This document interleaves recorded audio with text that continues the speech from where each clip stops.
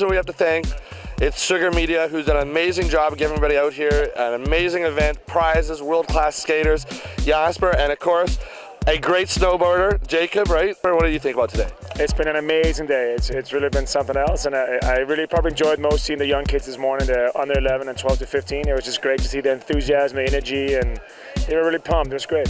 We actually got a few of our people from our Sunday mo- morning program.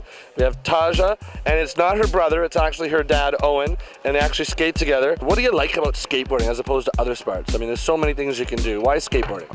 Because it helps you with your balance and you can just keep getting better at it. CJ's been really good for me because I actually started skateboarding at 39 and I never skated my entire life. And because my kids were skating and I was watching them for the first few weeks, and then I just uh, always had sort of that desire to try it. And because the program was so uh, friendly and easy, I started. And I remember there was a guy here named Matty, and he showed me how to stand on a board. And then I think in the last couple months, I've had kids ask me if I'm an instructor, so I'm pretty amazing now.